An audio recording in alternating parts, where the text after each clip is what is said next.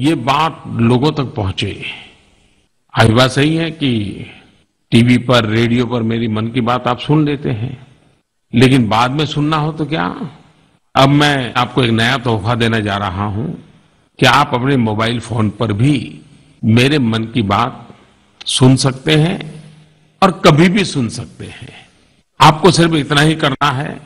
बस एक miss call कर दीजिए अपने मोबाइल फ़ोन से। मन की बात के लिए मोबाइल फ़ोन का नंबर तय किया है। Eight one nine zero eight eight one nine zero eight, आठ एक नौ शून्य आठ आठ एक नौ शून्य आठ। आप मिस कॉल करेंगे तो उसके बाद कभी भी मन की बात सुन पाएँगे। फ़िलहाल तो ये हिंदी में है, लेकिन बहुत ही जल्द आपको अपनी मातृभाषा में भी मन की बात सुनने का अवसर मिलेगा। इसके लिए भी